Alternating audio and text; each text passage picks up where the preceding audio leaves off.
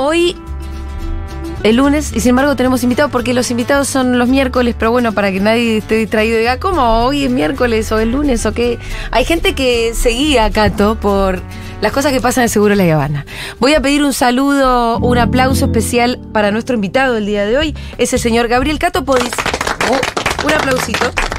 Cato, vos no lo escuchás, pero se escuchó fuerte el aplauso porque Muy no te pusiste los auriculares, pero hubo toda una ovación del otro Ovación lado. grande. Eh, bueno, Cato, re contenta de que estés acá.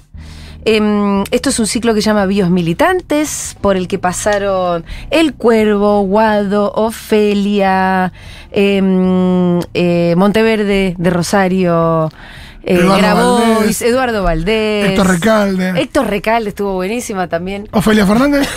Lo acabo de decir. Y lo que hacemos y nos proponemos es hacer una suerte de biografía militante, ¿no? Eh, de cualquier manera, antes de adentrarnos a eso, que yo sé que eso empezó eh, con una militancia católica en las villas y ya estuvimos investigando, un poquito quiero que hablemos de la coyuntura, porque, bueno, se supone que hoy empieza formalmente la campaña. Así es, sí. Eh, y te digo la verdad, por lo menos desde acá, hoy formalmente, porque la campaña no se detiene mucho, ¿no? Entre las paso y, y- y hoy, qué sé yo, qué día es hoy. Eh, pareciera que hubo, no sé, por lo menos una, como si se hubiese detenido un poco el tiempo, ¿no? Para el peronismo.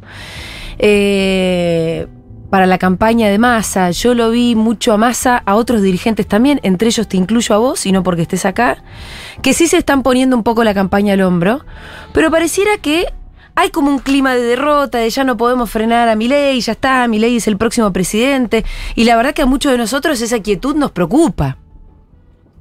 Y, y- y en lo que nos toca, tratamos de hacer todo lo posible también, ¿no? Eh, para frenarla. ¿Cómo la estás viendo vos? ¿Arranca la campaña o no arranca? ¿Y en qué, en qué debería consistir en todo caso? Bueno, primero gracias eh, por, por la invitación, un programa y, un- y una radio que sigo, que escucho, que nos ayuda a pensar dos o tres cosas. Eh, es cierto que hubo un parate en, en- en la campaña Sí. formal, pero también es cierto que, que se habló mucho de política después de las PASO, que las PASO nos devolvió al debate de la política que habíamos perdido, volvió a poner en la mesa de, de- de muchísimas familias la discusión, a Mm. centrar la discusión en el rol del Estado, el rol de lo público, que sí, que no, no importa en qué lado cada uno se paraba, pero, pero ese debate existió, todos escuchamos, todos estuvimos en algún asado, todos estuvimos un domingo en familia discutiendo de estos temas y a mí me parece que bienvenido que esto sea así y, y- y salgamos desde el peronismo a, a debatir. Me parece que también eh, la sociedad empieza a enfocarse, volvió a discutir las cosas que eh, los afectan a ellos. Que, que en La Paso hubo más bronca, hubo bronca, hubo enojo y que ahora eh, estoy seguro hay más interés. Sí. El interés viene la- de la mano de la reflexión, el interés viene de la mano de eh, la comprensión, de entender. Y no solamente ya, como fue las paso, de mirar candidatos, sino de elegir el 22 de octubre mirándonos a nosotros, mirándonos cómo afecta mi vida cotidiana lo que vaya a pasar a partir del 10, del 10 de diciembre en la Argentina. Y a mí me parece que todo eso eh, está bueno, está bueno y tenemos que, que aprovecharlo. El peronismo tiene que tener, no es desde un peronismo ni temeroso, ni aterrado, ni, ni a la defensiva.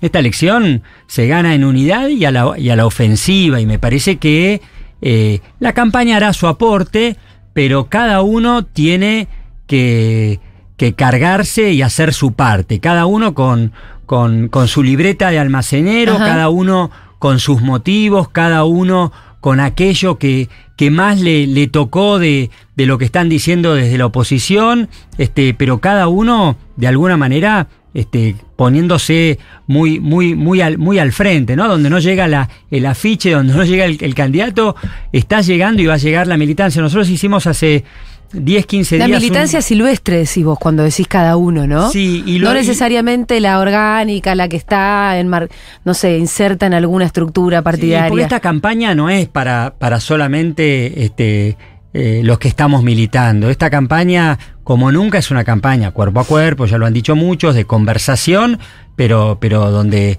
eh, cada uno tiene, tiene, tiene una tarea para, para hacer. Y me parece que empieza ahora el paso siguiente. Ya dejamos los análisis, la clasificación de si mi ley es nueva derecha, extrema derecha o qué es. Eh, ayer Federico decía una cosa muy importante que yo la tomo porque Fede la Vázquez, decís vos. Fede Vázquez, sí, que es este. Bueno, eh, la discusión está dada en, en, que nos van a cambiar el país para siempre. Mm. Y es así. Y nosotros tenemos que eh, empezar a entender que el eje no es el personaje, que siempre es un mascarón de proa, que fue en los 90, fue, lo intentaron con Macri y salió, y salió mal, lo intentaron con el ALCA, con Néstor de presidente, y Néstor este, se, se, se, se plantó, y, y, está claro que ahí no había como discusión solamente un tratado, estaban discutiendo qué negocios podían hacer con la Argentina, y de eso se trata, y Fede lo decía ayer, y yo estoy de acuerdo, eh, bueno, lo que se defina es por varias generaciones, van a, es para ciclos largos, lo que se determina, y me parece que esa discusión también la tenemos que dar, porque si no nos quedamos discutiendo si hay un loco mm. con el pein, pelo despeinado que está parándose en la campaña de una manera o de la otra, y la verdad que yo creo que es mucho más este, sustantivo, interesante, atractivo poder dar esta discusión, que en definitiva se va a dar después del 22 de octubre. El peronismo va a entrar en el balotaje, el peronismo tiene allí un, una, un, el, el, primer objetivo claro, sí, que es entrar, entrar, entrar, Y una vez que entramos, dos modelos, ya no hay tres lugares donde poner el voto, hay so, solo dos lugares y, y, esos tres tercios se van definiendo en, en dos modelos de país, pero que para, para, para la vida de la gente es cómo va a ser tu 2024 cómo vas a vivir con un poquito más de tranquilidad, cómo vas a poder recuperar un poquito más de alivio a fin de mes. Bueno, eso es lo que nosotros tenemos que asegurar en la campaña en función de que lo vamos a hacer, lo vamos a lograr, lo vamos a concretar. Eh, Cato, subrayo esto que vos decís, ¿no? Y, que, y citando a Fede, que es verdad que se empezó a hablar mucho más de política eh, después de las PASO y que ahí hay un terreno donde, bueno, uno puede entrar, además sobre todo que eh, tenemos los argumentos, ¿no?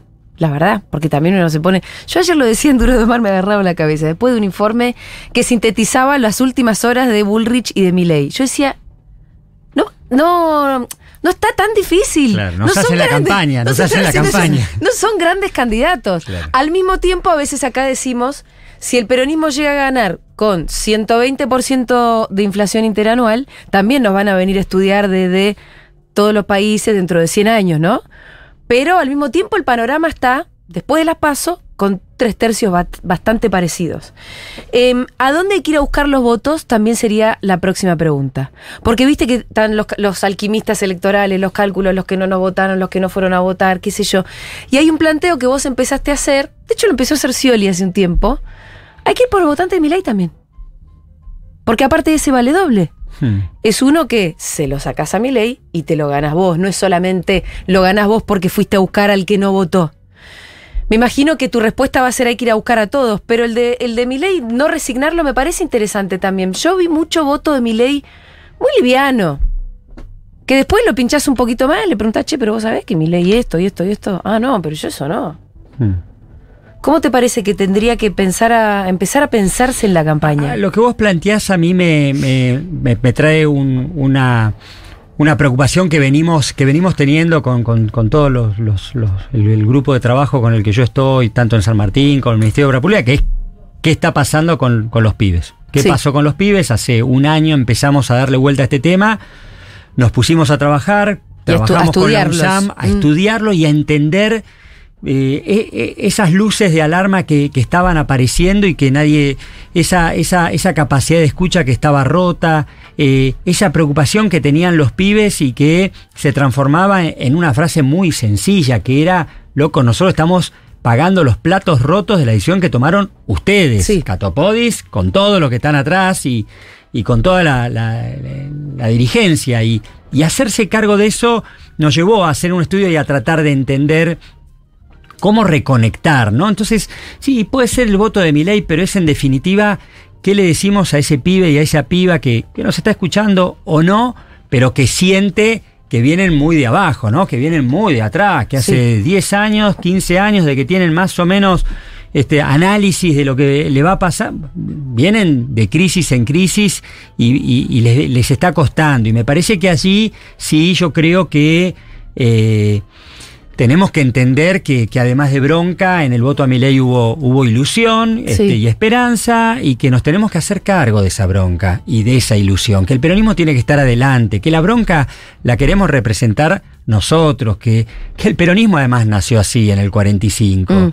y que, como te decía antes, lo que define es este, un ciclo largo, es un, es un punto de inflexión, es como un 45, pero al revés. Están planteando no, Milley o Bullrich, los factores de poder. Eh, y me parece que nosotros tenemos que ver cómo construimos un mensaje que no, que no plantee la, la, epopeya de liberación y que, y que sí plantee con mucha claridad cómo le vamos a mejorar eh, la vida cotidiana a, ese, a ese pibe y a esa piba. Milei propone cosas peligrosas, pero cosas peligrosas para la patria mm. y queda muy lejos, cosas peligrosas para la juntada con tus amigos, cosa peligrosa para que vos puedas recuperar un poquito más de, estabilidad en el laburo, cosas peligrosas para la vida en familia, eh, cosas peligrosas para la idea del cuidado y de la paz y de la tranquilidad de las familias. Y me parece que allí nosotros tenemos que, que por supuesto, laburar... Eh, bueno, con un peronismo que tiene que aparecer con, con mucho carácter. En algún momento eh, este es un partido que no se gana colgado de los travesaños ni con un 4-4-2. A veces jugar bien es jugar simple. Bueno, acá hay que decir con mucha claridad que la gente va a tener un mejor sueldo, un mejor salario, un mejor ingreso y va a vivir más tranquila. Y que todo eso va a ocurrir rápido, que hay una velocidad de la recuperación que no tiene que esperar cuatro años. Y que lo está empezando a hacer Sergio como ministro de Economía, pero que fundamentalmente estamos generando las condiciones para que eso ocurra. Y eso se va a plasmar plenamente bueno, cuando Sergio tenga los votos, sí, claro, hoy es ministro de Economía, y cuando tenga los votos y, el apoyo de, una gran mayoría que hay que volver a, reconstituir, ahí vamos por este eh, bueno, estos trazos gruesos, estas, estos objetivos que, tienen que ser muy claros, muy tangibles, muy cercanos y muy comprendibles, tienen que ser entendible lo que nosotros queremos hacer con la Argentina hacia adelante. ¿Qué, qué vendría a ser eso, para ponerlo en tres líneas? Bueno, que los pibes tengan, no sea un calvario conseguir laburo, que el laburo no te dure tres meses. eso hoy no es calvario, es laburo. No, para los pibes sí, para Los pibes, y para los pibes, los pibes están son por eso laburo de, por eso laburos de mierda. pero digo, no es un problema de empleo el que tenemos. No, pero te diría que en, lo que yo vengo laburando con los pibes en San Martín es que hay mucho mucha cosa que los empresarios quedan con el chip de la pandemia, ¿viste? Che, terminó la pandemia, no hay más emergencia ni emergencia laboral, contratá en blanco con con derechos me parece que eso, en el caso de los pibes, eh, es, un, es una preocupación, pero es una preocupación alquilar, es una preocupación. Bueno, también hay un cambio de época y un cambio de cultura. Por ahí lo que para nosotros era tener laburo, poder estar en un mismo laburo, hacer aportes y jubilarnos en ese lugar, este, bueno, no, no, sé, no está tan claro que esa sea la prioridad este, para los pibes, pero definitivamente tenemos que provocar este, una, una idea clara de que ese país los contiene, de que ese país los incluye, de que ese país va a hacer que ellos tengan un laburo, una casa, una familia, sin que sea un calvario. Eh, Cato, vamos a ahora sí a la entrevista que teníamos planeada, que es un poco hacer el recorrido de tu vida militante. Em, ¿Cuándo empezó? ¿Cuál fue el primer momento que vos empezaste a pensar como militante o a tener pensamientos políticos? Y se dieron dos cosas juntas. Por un lado, la, militancia en la universidad pública, en la UBA, eh, una facultad particular, que es la Facultad de Derecho, en el peronismo de, esa universidad, que éramos claramente una, una tremenda minoría. ¿Qué año estamos hablando? 84, 83. Y no era un buen año para ser peronista. No, no era buen año. pero, vos ya eras peronista. Volvíamos de la, sí, volvíamos de la democracia y, y a mí me, me, atrapó eso y enseguida nos encolumnamos atrás de, de, las movilizaciones y, y, las protestas que, que planteaba Saúl Ubaldini, que era en ese momento lo más claro que había como, como referencia. Y el trabajo en las villas, yo empecé a trabajar de, de muy pibe, 16, 17 años en, en la Villa 20 de Lugano, con los curas villeros que empezaron después de la dictadura a reconstituir lo que era la pastoral villera con la primer camada, no la camada que está ahora, que es la, del padre Pepe, Toto o el Tano, que son como la segunda generación, sino la primera, que eran aquellos curas. Bueno, allí conocí a mi, a mi actual mujer, a la madre de mis chicos, a mi esposa, y, y la verdad que este, eso marcó, eso nos, nos marcó fuerte. Eh, varias cosas, ¿no? Este, la, la, la, interna de Menem y Cafiero y nosotros llegando a la 20, a la, a la villa, el sábado, este, que hacíamos una tarea pastoral, pero después yo me dediqué también como abogado y construimos un sistema jurídico gratuito en todas las villas de capital y creer que era Cafiero, que, que, que, que no había duda Sí. y, y, y, encontrarnos con que en esa villa, en ese lugar, todos votaban a, al turco y bueno, y entender que claramente este, Sí. la sabiduría de nuestro pueblo más humilde siempre tiene, tiene, tiene razón y, y- y ocurrió lo que ocurrió.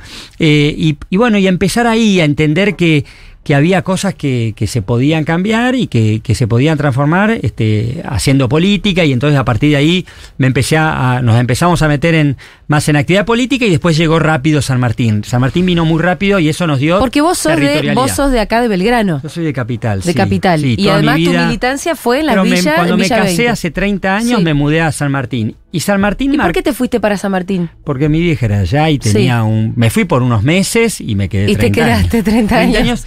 Y fuiste intendente, y ya vamos a llegar a eso, ¿no? Y se dio la territorialidad, ¿viste? La territorialidad le da a la política eh, una brújula muy clara. Sí. Vos podés hacer política, pa- participar en cuan- cuanto colectivo haya, pero, pero el territorio, el barrio, eh, el mano a mano, el cuerpo a cuerpo, que en el caso nuestro fue muy, muy claro en San Martín, porque eh, había una estructura del peronismo muy densa, muy tradicional, muy pesada, que además venía perdiendo, la venían atendiendo electoralmente en los últimos, se había ido muy mal de San Martín, se estaba yendo muy mal, se fue con destituciones de intendentes. El peronismo. El peronismo, y entonces nos, nos, nos tocó a nosotros, eh, a mí en lo personal, Sí. empezar a construir algo muy, muy por abajo, muy, muy, muy eh, por fuera de lo que decían este, los manuales de, de la militancia y empezar a construir una cosa de mucha cercanía y, y- y una ¿Y construcción en qué barrio por barrio. consistía en concreto? Porque vos recién te, te candidateás para intendente, empezás ahí por el del 2007, ¿no? 2007 voy y pierdo. Sí. Pierdo porque el, el peronismo va dividido, pero le ganamos a la, a la, a la facción, a la línea Pero más tradicional. Quiero saber cómo llegaste a construir una referencia que por lo que, que un día eh, Gabriel Catopode dijo, yo quiero ser candidato a intendente.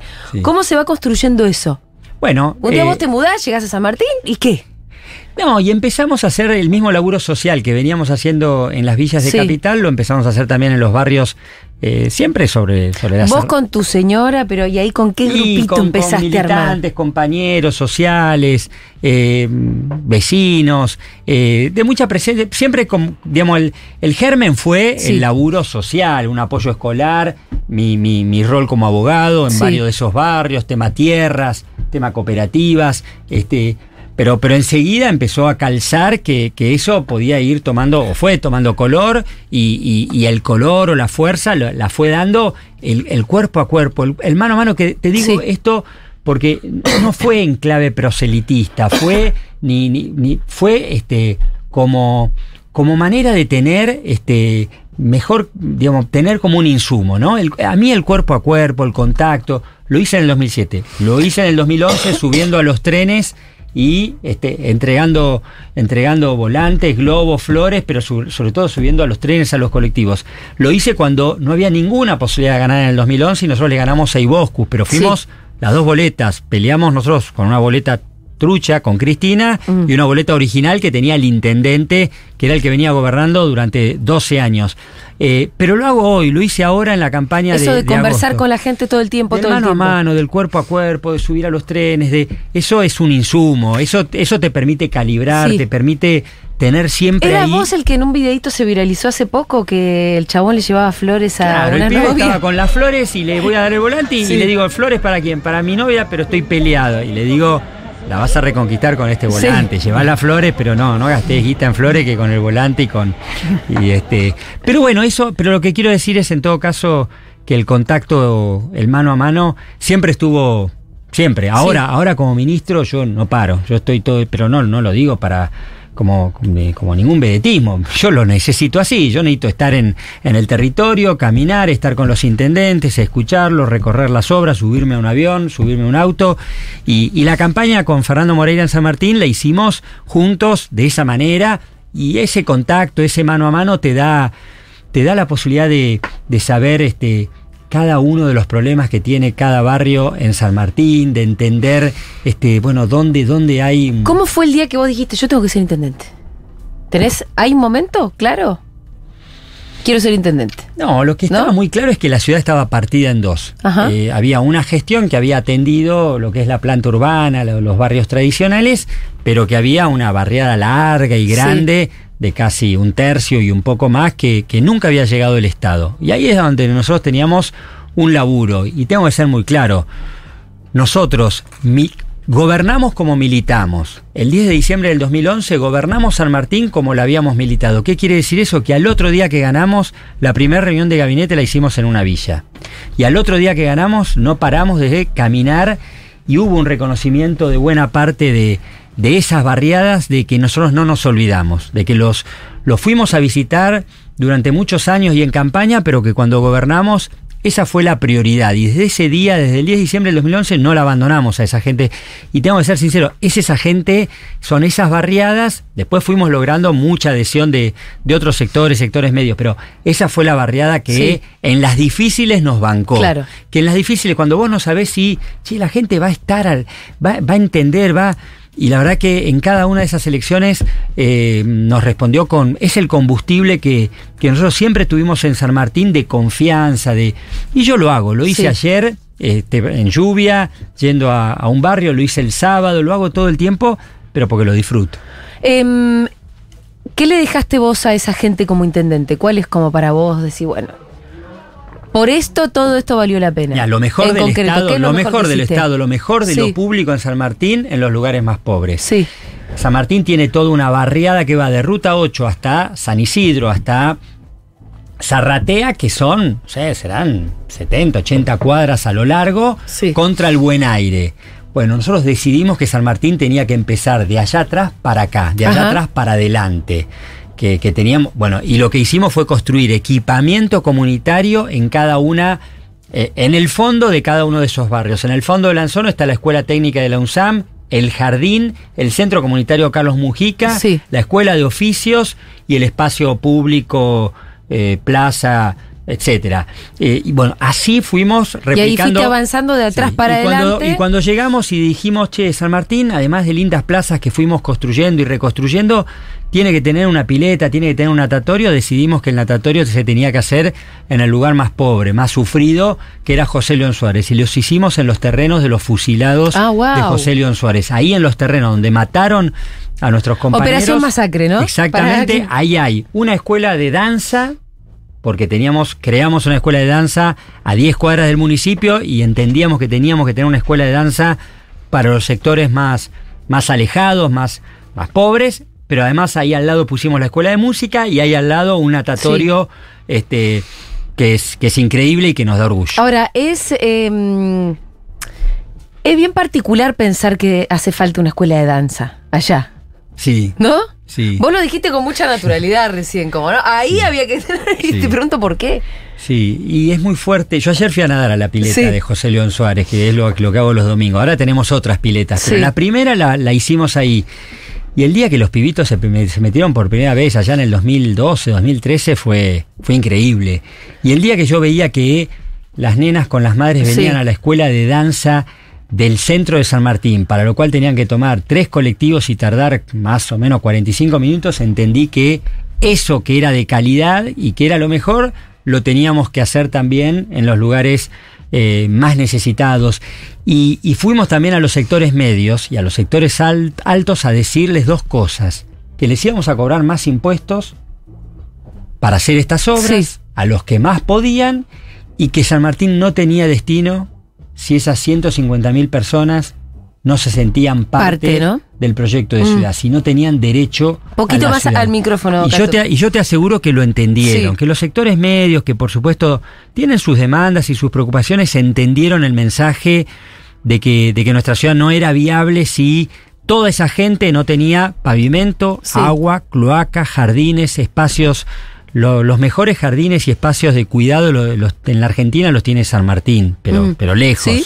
Y tenemos una red increíble que permite que de 45 días a 4 años este, la madre no tenga que dejar a su nene con la tía ni con la hija mayor y que podamos entonces recuperar desde el cuidado el, el tiempo libre de esas madres y cada barrio va teniendo esto que te digo, todo pavimentado, agua y cloaca, su centro de desarrollo infantil y además estos equipamientos. Hoy lo está llevando adelante eso Fernando Moreira, que es el, el actual intendente, el que ganó las elecciones y el que está haciendo seguro mucho mejor las cosas que yo para que todo esto y que va por una reelección, ¿no? Que va por una reelección, fue una decisión mía mm. eh, entender que también en San Martín teníamos que producir un, una, una renovación, fuimos a la interna con el Evita, me preguntaron, che, una interna, vos no estás, sos ministro, no estás en condiciones de evitar. No, no, el peronismo hay que, hay que, hay que, hay que llenarlo de, participación, hay que abrirlo, no, hay que cerrarlo. en contra de la interna vos? No, para nada, para nada. Y Porque al mismo tiempo sos el hombre de la unidad, te voy a decir. Eh, ¿No? Como que por lo menos en el último tiempo, ahora podemos hacer un repasito también de porque venimos hablando mucho de la cuestión de fondo, ¿no? De qué es lo que a vos te llevó a hacer política, qué hiciste como intendente. Ahora, en ese camino también vos tenés relaciones políticas, de pronto que tensaste más con el kirchnerismo, que te fuiste a hacer el Frente Renovador, hmm. fuiste, volviste, ¿no? Como ahí también hay otra dimensión de la política que capaz es más chota, eh, pero que hace falta. Sí, Encuadrarte en algún lugar o no. Y nunca lo hice. Lo bueno, mira, lo único que tengo para decir es. Digo, este, ahora sos el que, el que todo el tiempo está buscando la unidad cuando, incluso cuando eh, eso pareciera ser complicado. Pero tuviste tus idas y vueltas también, ¿no? Nunca fueron a lugares seguros. Nunca fueron a lugares de ganador. Siempre fueron a. A, riesgo de perder, siempre fueron a pérdida, es decir, siempre fueron a arriesgar, a entender que, que yo, que en cada caso esa jugada eh, era lo que, lo que podía este, renovar, ampliar, y lo hicimos todo siempre con, con mucha, con mucha honestidad, con, sin, sin, sin, sin tener posiciones este, ni antagónicas con nadie y, siempre manteniendo bueno, los, las líneas de comunicación y, el contacto y, el, el, respeto, ¿no? Y, siempre de vuelta, lo hicimos siempre a, lugares que después algunos salieron bien y otros salieron mal, pero siempre en general era, era riesgo, no era, no era la, la jugada ganadora. Y eso yo lo, lo, rescato porque, bueno, era apostar a la política. Pero, pero bueno, en todo eso también tengo que rescatar el, el, laburo de, de, de, Nancy, de mi compañera, que, que, es mi esposa, que es la secretaria de Educación y Cultura y que es la que, la que viene haciendo un montón de, de obras. Por ejemplo, San Martín tiene centros de apoyo escolar públicos, gratuitos en toda la ciudad. Quiere decir que si un pibe de primer grado hasta el último año necesita apoyo escolar, tres veces por semana tiene una docente, tiene dónde ir. 30 lugares y esa red, y entonces bueno, lo que nosotros podíamos hacer como padres, porque teníamos una situación económica que nos permitía llevar a nuestros pibes a, y pagar una, una profesora, una maestra, eso está garantizado para todos los pibes de San Martín. Y el sábado se hizo el Congreso de la Juventud. ¿Y por qué te lo traigo a la conversación? Bueno, porque también fue una respuesta de lo que estábamos buscando y explotó. Y explotó y, y trajeron mm, cuatro propuestas, la creación del Consejo de la Juventud, pero lo que quiero mencionar simplemente que es, bueno, esta necesidad de de, de poder este, este, mm, tener, tener la escucha de los pibes, qué, qué están planteando, qué están diciendo, y entender que los que votaron a mi ley son vecinos nuestros, que, que, no hay un 30% de libertarios, que, que, son, que son tipos que tienen un plan social, que llevan a sus pibes a la escuela, este, que creen en el Estado. Muchos de esos pibes van a la pileta de José León Suárez y lo que tienen lo tienen de la mano del Estado. Y el Estado en esos barrios tiene una cotidianidad que es amigable, Tenés que ir a cualquier hospital público de San Martín, al municipal o a los provinciales, y yo lo hago porque lo hice y lo hago permanentemente, y, hay un grado de, satisfacción de lo público y, de salir este, con, una, con una operación quirúrgica atendido este, en condiciones y sin pagar un solo peso. ¿Y, qué es lo que lo lleva entonces a haber elegido la opción por mi ley? Bueno, es lo que tenemos que tratar de, de entender, de entender, pero me parece que que hay algo de, una crisis larga, ¿no? De, un cansancio largo, de cierto, de cierto, de cierto enojo, pero, pero también de la oportunidad que tenemos ahora de vuelta, de que, de que ya no sea enojo, sino que sea un poco más interés, que, que, que los pibes, este, eh, que podamos encontrar este contacto con los pibes, este, que los pibes hablen con los pibes, que bueno, que podamos eh, eh, generar este, en estos 50 días tal vez también una, una expectativa, tenemos que regenerar expectativa para, para, que estos pibes nos crean de que lo que les estamos proponiendo como, como, como vida, como proyecto de país, no es algo abstracto, allá lejano, sino que a ellos les va permitir tener una vida más, más segura, más estable. Ahí, hablaste, hablaste mucho de, esto de proponer, hablar, escuchar, escuchar lo que tienen para decir eh, los pibes o, los vecinos que, que, que, votaron por otra opción y demás.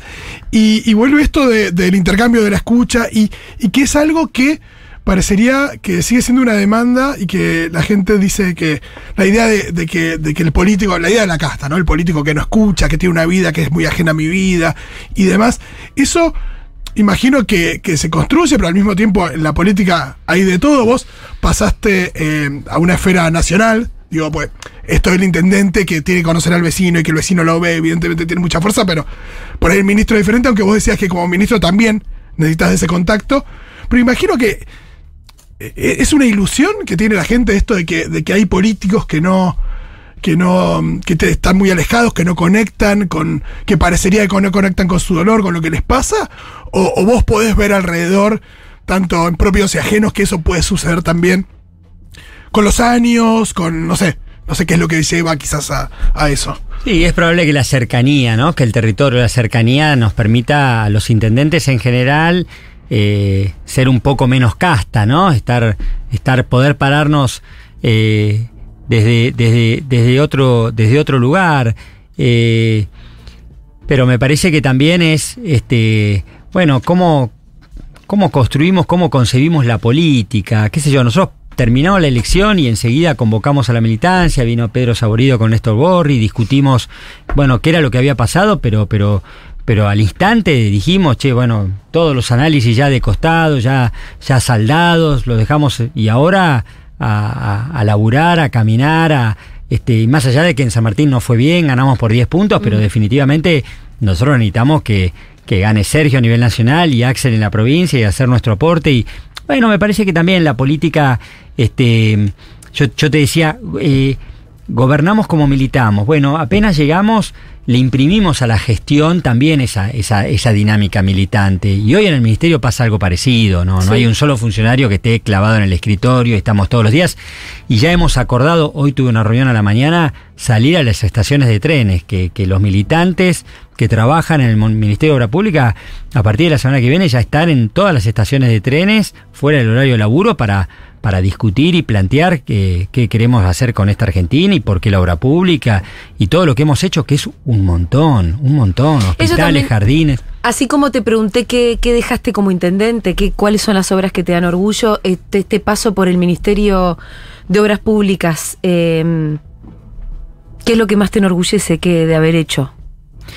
Y si un ministro de Obras Públicas siempre tiene que ser militante, o cómo es esa relación, el militante y el ministro. Mira, lo primero es que cuando llegamos teníamos un plan, no, no llegamos con improvisación. Alberto me dijo, ¿te haces cargo? Le dije que sí y enseguida eh, armamos el equipo y entendimos que había, que había un plan de infraestructura que había que llevar adelante en la Argentina, que ese plan tenía que tener las grandes obras que necesita el país. Estamos a punto de inaugurar la, la autovía, la doble vía de Pilar a Pergamino, casi 180 kilómetros. Y así montón de, Esas cosas son mega, ¿no? Son mega obras que la empezó Cristina, que después alguito, muy poquito, apenas 10 kilómetros hizo Macri y que después nos tocó a nosotros este, llevarla adelante. Pero digo, grandes obras, pero también las obras de, de, cercanía que son las que le cambian este, la vida este, a ese vecino cuando le llega el agua, le llega la cloaca. Ahora, lo más importante es que hicimos hospitales, jardines, universidades y escuelas en todos los pueblos y en todas las, localidades de, la Argentina, que, que, el macrismo hizo una sola obra en universidades y que nosotros estamos haciendo 167 obras en las 56 universidades nacionales con, eh, con fondos del ministerio, pero también con, con el trabajo de Jimmy del Ministerio de, Educación, que hicimos. Los hospitales modulares al, al, al momento crítico de la pandemia en 40 días pero después hicimos y estamos haciendo más de 200 obras hospitalarias en toda la, en toda la Argentina, que estamos haciendo 500 centros de desarrollo infantil en los lugares más pobres de la Argentina. Bueno, todo eso eh, es parte de un plan que tiene como principal objetivo achicar las brechas y fundamentalmente, bueno, dejar un, un piso de infraestructura que es el que estamos convencidos, la Argentina necesita para adelante. Lo hicimos de manera transparente, lo hicimos con la perspectiva de género, a partir de también desarrollar manuales que nos permiten discutir y poner, incorporar esa perspectiva, no solo como laburantes, las mujeres, sino al momento de diseñar una plaza o un edificio y con una red de género que funciona en los más de 20 organismos que están en el ministerio y lo hacemos con muchísimo, muchísimo Sí. orgullo. Eh, Cato, para ser ministro de Obras Públicas en este país hay que tener huevo porque le pones la firma a cuestiones que son eh, gruesas. Vos mismo lo estabas diciendo, o sea, debe ser el ministerio que más plata gasta y que por lo mismo más riesgo corre en el sentido en el que mañana te pueden hacer una causa donde ya vimos cómo funciona también el, Sí. la persecución judicial en nuestro país. Eh, ¿te, te, te da miedo en algún No. momento? No, no, no. Tengo, mi vida es la que es, vivo, vivo en mi casa, con mi familia, nunca tuve una denuncia. Sí, eh, bueno, pero hay mucha gente que puede decir lo mismo. Mirá, yo corrupto no soy, pero si te la inventan, te la inventan. Sí sabíamos que había una demanda este, all- allí en el tema de obra pública, transparencia, y, y construimos un- una herramienta el primer día que fue un observatorio con universidades nacionales, Sí. con organismos de la sociedad civil que no están alineados ni cerca con nosotros, como CIPEC o Poder Ciudadano, y, y los metimos a todos adentro y le dijimos contrólennos. Ajá. Y creamos un sistema de gestión. Y eso fue una iniciativa tuya. O sea, la obra pública hasta ahora no tenía una especie de fiscalización externa. No, creamos una dirección de transparencia Sí. con un observatorio que tiene funcionamiento efectivo con reuniones plenarias todos los meses, donde por supuesto está la UOCRA, está la Cámara de la Construcción, pero también con un sistema de tecnología. Yo cuando llegué tenía apenas una planilla de Excel con algunas obras, 270 obras, de las cuales este, el 70% estaban paralizadas. Hoy tenemos más de 6.600 obras, eh, terminamos 3.800 y, y en todas este, hay una, una clara eh, un claro esfuerzo por, por, por la, por la transparencia y por este, transparentar todo lo que hacemos.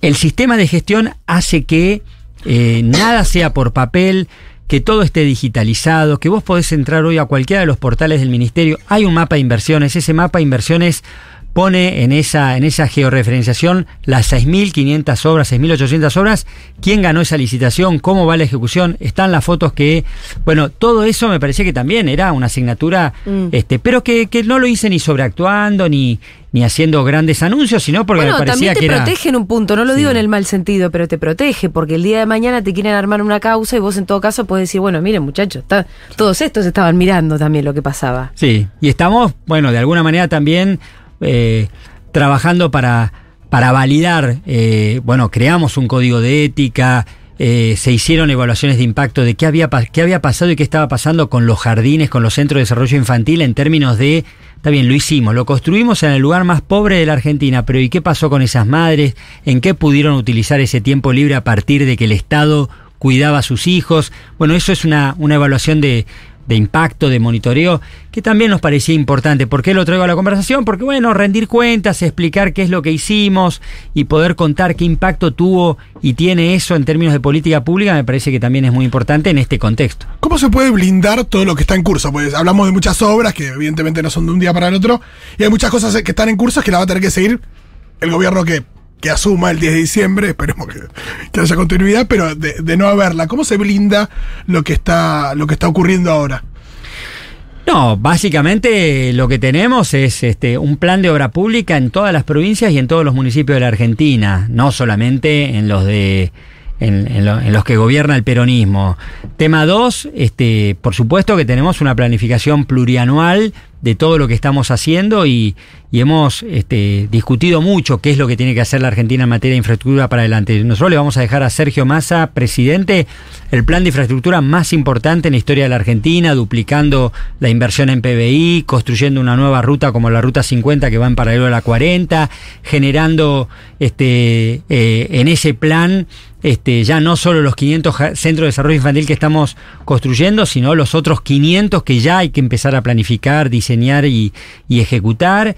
Y me parece que la gran apuesta en materia de, de obra, de obra pública eh, es definitivamente que podamos achicar brechas. Todavía hay gente Mm. que no tiene agua, todavía hay gente que no tiene, que no tiene cloacas. Nosotros estamos haciendo obras en pueblos y en localidades que hace 30 años las, las están esperando y es, el, el- es la diferencia entre vivir bien o vivir mal. Tener agua, tener cloaca, tener pavimento, tener una escuela cerca. Em, vos todos los domingos tenés alguna algún encuentro cercano. Todos los sábados, todos los domingos, todo el ¿Vas tiempo. a misa todavía? Voy a misa. ¿Vas a misa a charlar con la gente o, No, no, o de verdad te vas a conectar no, no. con Dios? No, no, bueno, mañana hay una misa importante Sí. que hace el padre Pepe en la, en la Villa 2124, de alguna manera en repudio a, a los dichos de Milei sobre, sobre Francisco, pero algo más profundo que eso, que es... No sé qué dijo Milei sobre Francisco. Y ven- venía diciendo en los últimos años que era... ah, no sé, Es comunista. Claro, claro, que era lo peor que le podía pasar. Pero no importa, me parece que ahí también Pepe y los curas villeros van a plantear un poco la perspectiva comunitaria, la perspectiva propia de, de lo que pasa en nuestro barrio. Nuestros barrios son solidarios, nuestra gente sabe que, sabe que el egoísmo puro no es solución de nada y, y que cuando se enferma un pibito en, en- en un barrio o cuando hay una inundación o cuando a una familia se le quema una casa, es el barrio, es la comunidad la que sale un poco a la- esa perspectiva, nosotros no la podemos entregar. Mm. Nosotros la de, la de que la Argentina está rota y se termina pasado mañana como nos quieren hacer creer, no la vamos a entregar. La de que nos, los pibes se quieren ir todos este, a vivir a, al extranjero, este, no, no es una realidad. La realidad es que este, yo salgo a las seis y media de la mañana todos los días de mi casa y en Villa Lynch, este, pibes y adultos van a laburar con su bolsito, vienen de- del transporte público, entran a laburar, en general lo hacen en un marco de, de un, de un trabajo registrado. Bueno, ese es el piso y, desde ahí tenemos que ir por lo que, por lo que falta. Me parece que lo que no, no, no podemos es alentar este, a que se retroceda, a que haya este, un ajuste, a que ese tipo tenga que pagar, como decía Sergio ayer, este, el boleto mil mangos, a que la obra pública se pare. Bueno, esa discusión, eh, ese marco general nosotros lo tenemos que dar. A veces me parece que, que estamos. Me, me parece que el peronismo tiene que de vuelta aparecer con ese carácter, con esa intensidad que solo tiene, tiene el peronismo y representar. ¿Qué cosa? La bronca. ¿La bronca de qué? De querer vivir mejor, es una aspiración legítima y en esa bronca el peronismo tiene que estar adelante y la tiene que representar, la tenemos que representar, no nos tenemos que esconder de esa aspiración a que a querer que las cosas funcionen mejor y que cada uno pueda vivir mejor. ¿Qué país te parece que podríamos tener en un año? No, en cinco, ni en diez. No, en un año tenemos que tener este país que tiene laburo por todos lados. En cualquier barrio hay laburo, hay changas, en cualquier la- la- el barrio. Nosotros pasamos de 300.000 puestos de trabajo en el sector de la construcción al récord histórico que son 500.000, pero además tener un sueldo que alcance. Esa ¿Cómo meta, eso? esa meta es para este año. Sí. La velocidad de la recuperación, de la recomposición salarial eh, es de 12 meses. Nosotros no podemos seguir postergando esa que es la principal demanda. Y, y el problema de la inflación es un problema que en la Argentina es estructural por un montón de condiciones que estamos tratando de encaminar. Este, y además es porque nos dejaron una deuda, porque Mm. Macri nos dejó una deuda. Bueno, esas dos cosas nosotros las tenemos que acomodar este, para, para poder este, eh, acomodar la inflación y tener los dólares que, que nos, va, que nos va a traer el gasoducto y, y una cantidad de, de decisiones que nos permita empezar a, a sacar este, la cabeza de, de- de la línea de flotación, empezar a, a levantar a la Argentina de este pantano en el, que, en el que nos dejaron. Ahora con un mensaje muy claro, todo lo que no es ajuste somos nosotros. De vuelta, no hay, no hay tres lugares, hay solo dos lugares donde poner el voto. Ellos van a discutir del 50 para allá a ver quién aplica el ajuste más brutal. Uno, Milei diciendo que va a aplicar el peor el ajuste que el que, que el que propone el Fondo Monetario Internacional. Y la otra, Burrich, que, que integra el gobierno que nos trajo de vuelta el Fondo Monetario a la vida de los argentinos. Bueno, nosotros con el fondo nos tenemos que cagar a palo y tenemos que defender este, que, la Argentina no, no tiene destino si este, primero y de manera este, más, más, más urgente cumplimos con, con esos. Bueno, y en esa pelea está Sergio. Y este país, que es un país rodeado de piratas o con muchos tipos jodidos, necesita un tipo que, que, que no le tiemble la mano. Y, y Sergio, yo lo conozco bien, tiene ese, ese carácter. Sí, vos, eh, de hecho, bueno, armaste con Sergio, ¿cuándo fue? ¿2013 que, que armaron el Frente Renovador? Eh, ¿Cómo fue esa experiencia que vos lo conocés tan de cerca y también, bueno, esas idas y venidas con el kirchnerismo? ¿Por qué en el momento ustedes decidieron eh, a- armar eso y romper? No, en aquel momento cortito se dio, se dio la, la, la, la oportunidad, el planteo de, de- construir un- un- una expresión política desde los intendentes que en la provincia de Buenos Aires, bueno, planteaba este, una mirada sobre lo que estaba pasando, eh, alguna discusión sobre cómo, cómo tenía que, que- que abrirse el, el peronismo. Pero, Sí, pero lo yo más... no, no te lo pregunto como para ir eh, a hurgar en discusiones Hmm. viejas, sino para entender un poco más la dinámica de la política. Claro. Es por eso, porque hay gente que todavía te dice, ah, pero Massa es un traidor. Y yo digo, chicos, ya está. ¿No? Sí, ya está porque ya está, en todo lo caso. enfrente, ya está Por eso lo- digo, para explicar un poco Sí. más eso. Bueno, hay cosas que en algún momento te llevan a tomar decisiones, como decías, para mí siempre fue riesgoso, pero tenía que ver con otras cosas. Y la vida es larga y también el tablero se vuelve a acomodar. ¿no? Sí. Y me parece que, que hubo eh, gestos que, que permitieron que el tablero se vuelva, se vuelva a acomodar. Acá los gestos son, son centrales. El gesto de Cristina, no hay duda, pero también el de Alberto y el de Sergio, y de entender que había que, que había una pelea mayor, ¿no? Y me parece que algo parecido pasa ahora. Bueno, cuando uno ve lo que está enfrente, no, no nos miramos nosotros en el peronismo el, el color de la ropa, ni, ni, ni nos hacemos los rulos, como dice Cristina. Sabemos que, que el riesgo es muy grande y, y que la pelea que, que- que tenemos por delante es central. Y me parece que Sergio hoy es el tipo que eh, se va sentando en la punta de la mesa. Mm. Hoy necesitamos un Sergio que, que conduzca la campaña y que a- asuma la decisión de lo que tenemos que, que- que llevar adelante eh, como, como agenda de gobierno eh, en la Argentina. Y, y que Sergio ha encontrado una manera de, de relación con Cristina, con, con Máximo, con los pibes, que realmente, este, bueno, ha podido reconstruir la confianza y que, y que de vuelta no, no es esta para, para blandos, es, es para tipos que, que no se pongan nerviosos cuando, cuando hay que negociar y que defienda intereses. Y, y para que defienda intereses, no hay dudas de que, de que bueno, eh, va a haber una, una, y está, y está, y vamos a garantizar una, una construcción política. Nosotros, este, por ahí una mirada crítica, eh, el 10 de diciembre, cuando asumimos el gobierno en el 19, desenchufamos el cable de la militancia y, y nos metimos en los ministerios y, y nos metimos a gestionar este, eh, los presupuestos y me parece que perdimos la calle y después vino la pandemia. Bueno, de todo eso aprendimos y, y tenemos que entender que, bueno, que los procesos y las transformaciones que necesita la Argentina van a requerir eh, una, un- un- una fuerte este, base amplia, plural, diversa, este, de apoyo y de participación. Y si eso no está,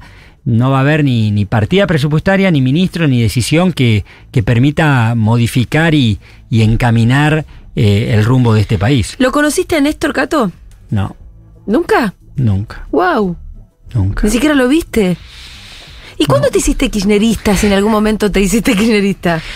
¿O hubo algún momento que dijiste, no sé, que en el 2003, por ejemplo, ¿en qué andaba vos? No, no, andábamos en el peronismo y por supuesto ya desde muy temprano apoyando a Ajá. Néstor, muy temprano en la plaza, muy temprano en la militancia, en el 2007. Eh, mm, en el 2007 cuando vos te presentaste que me tocó jugar, pero, que todavía vez. no había paso, entonces se jugaba en cancha abierta Sí. y había, hubo tres boletas Claro. eh, con Cristina y ahí me tocó perder. Eh, y no, y lo de Néstor es, es, lo, es lo de siempre, es este, entender cómo habrá tocado la, la fibra de la gente ese tipo que, que es el día de hoy, que, que en cualquier barrio, en cualquier rincón de la Argentina y en, y en cualquier plaza la gente este, sale, sale, sale a su defensa y a la defensa de Cristina, ¿no? ¿Qué, qué hicieron ellos dos para, para que para que eso no se haya perdido, ¿no? Y, y bueno, y me parece que, que además de todo lo que ya hemos dicho muchas veces, de, de habernos devuelto a la política y, y de la de la. Me parece lo más interesante para mí de, de Néstor fue entender que el peronismo no era un cálculo, que el Sí. peronismo era un hecho, que el peronismo no. El peronismo de Néstor y de Cristina, el kirchnerismo de Néstor y Cristina no, no fue el resultado de las encuestas. Fue el resultado de, de hacer, de tener una convicción y de ir para adelante. Y eso para mí era, era y es maravilloso. Me, me- me encanta esa definición de que no es un cálculo, porque tiene que haber algún tipo de cálculo, pero también tiene que hacerse lo que corresponde a veces, Claro. ¿no? Claro. Si vos todas las decisiones las tomás por focus, es muy probable que también en algún momento la pifies. Bueno, y ahí lo la que en- se supone que es eso también, es adelantarse un poco. Sí, en la oposición vemos también esto, uno cuando lo escucha a Milei hablando de hay una cuestión dogmática de su pensamiento que, que parecería que no fueran personas. Cuando habla de esto de la venta de órganos o de cualquier cuestión, eh, es como que excluye que lo que se, de lo que se está hablando es de personas que sienten y Sí, que pasan cosas. pero al mismo tiempo yo creo que a su favor mi ley tiene algo de falta de cálculo, También. ¿No? O sea, porque Sí. si, si estuviera calculando demasiado, no sé si diría las barbaridades que dice. Sí, esta elección me parece y que... eso es parte Claro, de su no, yo no decía coacheo, pe- pensaba en otra cosa, pero es verdad que también hay No, coacheo del creo que, que, que mi ley es el menos coacheado de todos, Claro. no, no sé Sí, cómo sí, lo sí. ves vos. Bueno, me parece que lo hemos dicho, es un estafador de gente enojada. Eh, es, un, Sí. es un tipo que, que propone, po- propone una trampa, que propone este que, tiene una, bueno, claramente una, una, una, una actitud provocadora de sobreactuación, eh, pero que claramente propone cosas que son peligrosas para la Argentina. Este, contaminar los ríos, que la gente se muere y que todos nos jodamos, bueno, es un tema grave, gravísimo, y que se arme nuestra sociedad para, para, para defendernos de los, de los problemas de inseguridad también es grave. Y yo la verdad que tengo mucha confianza en nuestra gente. Hablábamos hace un ratito de, de- de- de- del terrorismo de Estado y lo que está. Bueno, yo la verdad que confío mucho en, en que nuestra sociedad, este, y apuesto a que, a que si, si- se dan esos debates, hay una gran mayoría de argentinos que está bien plantada. Y, y la verdad que esa, esa claridad básica, ese sentido común básico, por lo menos a mí me ha ayudado siempre a, a, a rumbear. Eh, si querés te leo algunos mensajitos, Cato, que te están llegando. Los, los buenos, los buenos. Sí, ¿cómo lo banco a Cato? Eh, hay algunos que te. no tanto. ¿Cómo lo banco a Cato? Diseñador industrial de la UNLP. Me vine a trabajar a San Martín cuando inició el macrismo y yo recién recibido. Había un parate de cortinas cerradas que hoy no se ve. Una alegría atravesar todos los días el cartel que dice Capital de la Industria. No sabía que San Martín era capital de Sí, la así industria. es. Eh, em, Lorena dice, soy de San Martín y Cato no sé cómo hace, pero está en todos los eventos, grandes y chicos, con su compañera que es concejal y súper comprometida y su camperita de jogging. Es verdad, Cato, que vos andás siempre con Sí. buzo de capucha. Para ser ministro de Obra Pública, Capucha. que sí, em, es un dirigente que se mantiene en contacto con el pueblo. Cato, por favor, ponete casco para andar en bici. Es cierto, es cierto. Eso yo te la discuto un poco, ¿eh? Va, el otro día... ¿Por qué? Porque el Ah, otro día escuché eh, a Resnick en un podcast de Futurock, de ciencia pura, que dice que en realidad las, en realidad el tema del casco en la bici no, Sí, como que hay más lesiones por otro lado. no, no es tan. eh, obviamente que si vos andas en moto tenés que usar casco. Hay para ciertas actividades en las que tenés que usar casco. Ahora para la bici en realidad no es que te salva mucho. Eh, pregúntele por la estación de Villa Crespo del San Martín. Mm, Pero no es mía. Dice Daniel. ¿eh? No es mía, porque Bueno. no, no, no, no- es Ciudad de Buenos Aires y, el, y no soy Claro, ministro San de Martín es el transporte. tren, pero- Claro. Eh, sí, hermano, no confundamos. Cato es realmente un vecino más de San Martín. Él y Nancy están siempre por las calles del barrio y caminan junto a la gente como uno más. Gente honesta y humilde, aguante Cato Podis. Yo te juro que no, no son inventados, ¿eh? Barbie de San Martín, sé que tenemos muchos oyentes también de San Martín. Eh, salgo con un muchacho de San Martín, dice Florencia. Termino el secundario de grande en una nocturna del municipio. Se recibió de profe en el 113. Hmm.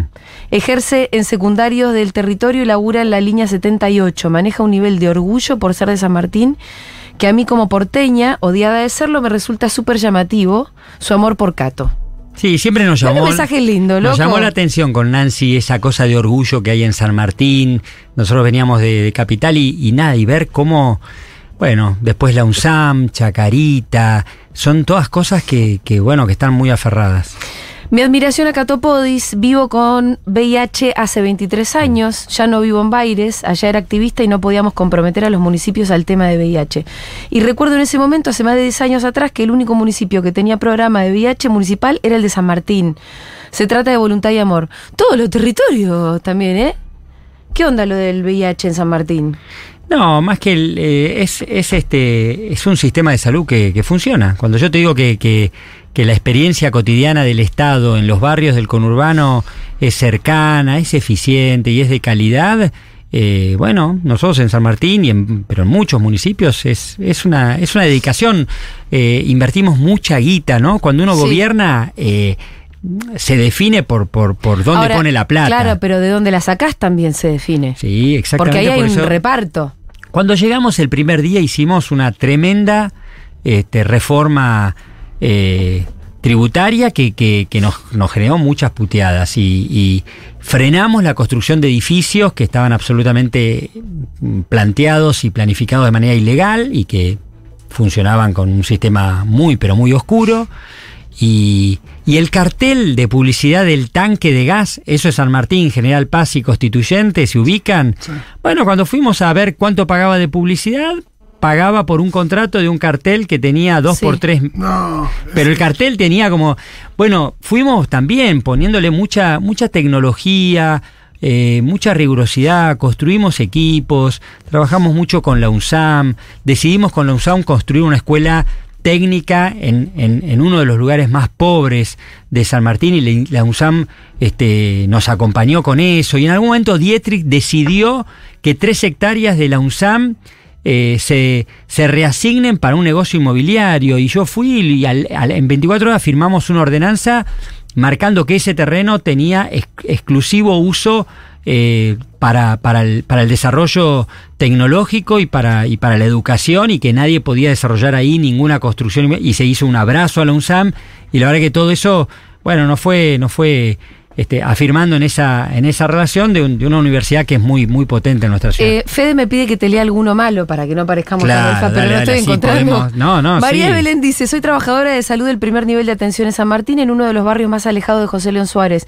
Puedo dar fe de todo lo que está diciendo Catopodi. Se nota la presencia del Estado en municipios como San, Mar- San Martín.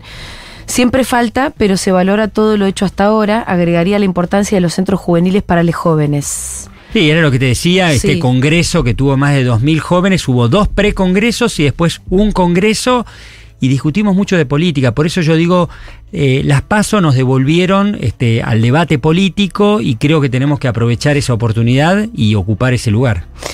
Eh, llegó eh, información sobre el tema del casco a la bici. ¿eh? Leo. Espineto, nuestro, Wow. nuestro- un oyente Ah, él, eh, bicicletólogo, dice que el uso del casco desincentiva el uso de la bicicleta a veces. Es cierto, es cierto. Un casco bueno además puede salir tranquilo 30 mil pesos. El lema es casco sí, obligatorio no, para la gente que sabe bici.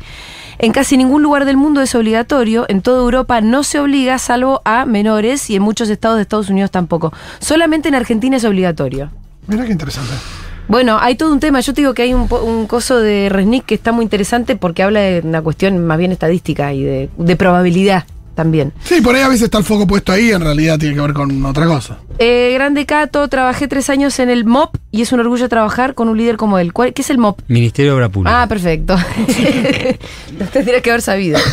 Em, ¿Qué más? Cato, como militante suelto puedo explicar todo lo horrible que sería un gobierno de mi ley, pero no hemos recibido líneas discursivas claras sobre las propuestas y promesas de campaña de Sergio. Sí, estoy, estoy de acuerdo que no ha habido bajada de Mm. línea y que eso también tenemos que, que activarlo y garantizarlo en esta etapa. Hay, hay, hay mucho orgánico, hay mucho que va a ser la campaña, pero donde no llega el afiche, donde no llega el candidato, va a llegar el militante y, y- y hay un mensaje ahí que para mí es clave.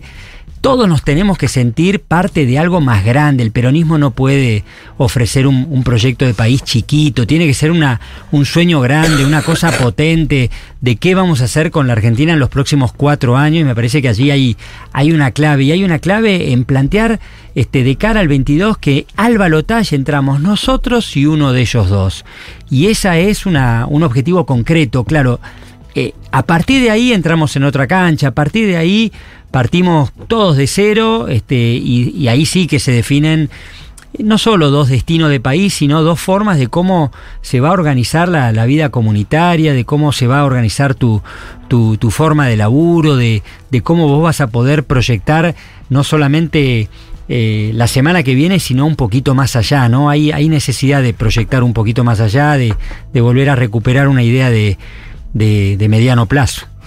Em, escuchando desde Florianópolis, Cato un capo, lo conozco desde Cercupo. Uh, Pa- tremendo. no sé qué es Cercupo. Cercupo pero es- firma Pablo Ragús, el hijo del viejo Ricardo. Sí, sí.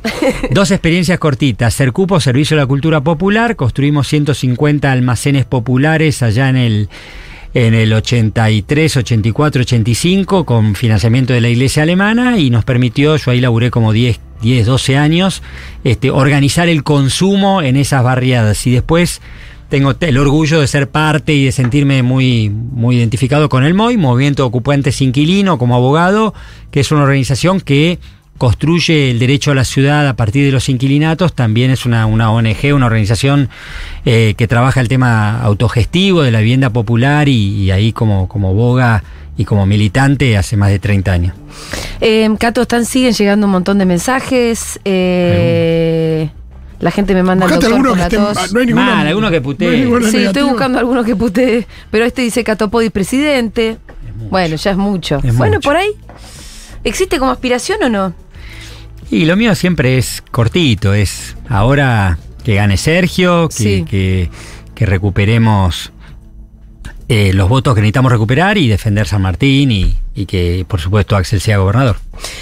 El señor Gabriel Capoto- Catopodis, ministro de Obras Públicas, pasó por Segurola de Habana. Me encantó la conversación. Cato, muchas gracias bueno, por haber espero que estado haya acá, ha sido atractiva y de vuelta gracias porque eh, contaba lo de Federico de ayer, pero Sí. lo sigo, lo sigo a ustedes, lo sigo, bueno, por supuesto Ivana, Gabriel Sueda, y bueno, y son un insumo para un momento raro, para un momento donde pensar cómo se milita este momento de, de la política y, y qué tenemos que hacer cada uno y cómo nos cargamos de pilas, me parece que, que es un todo un tema y ustedes la verdad que, que son, un, son un insumo interesante, Y fuerte en eso. Existimos desde el 2016 eh, y seguiremos existiendo, pase lo que pase, porque hay una comunidad que nos banca del otro lado.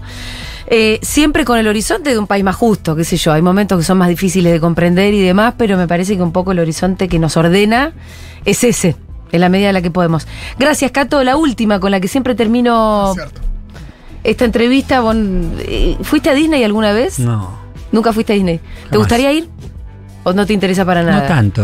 No, No. tengo, ahora no, por ahí de pibe, pero no, no No viajé. es momento de ir a Disney ahora.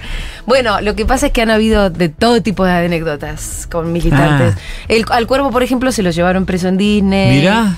Grabois obviamente fue dos veces, porque bueno, cheto él. ¿Quién dijo que se encontró a Cristina en Disney? Alguien se encontró a Cristina en Disney, porque a Valdés. Néstor y a Cristina les Valdés encantaba ir a fue. Disney. Fue Valdés, no me acuerdo.